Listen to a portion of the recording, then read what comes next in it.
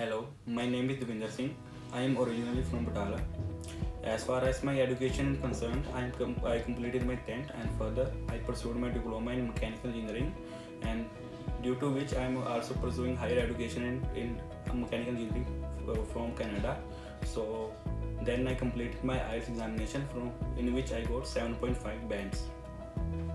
One of my friends suggested me to GoGlobal consultant and after that I came here and I met Meenakshi ma'am. They recommended me and showed me various programs and courses and colleges. So now I got my visa today and I am accepted in Canada.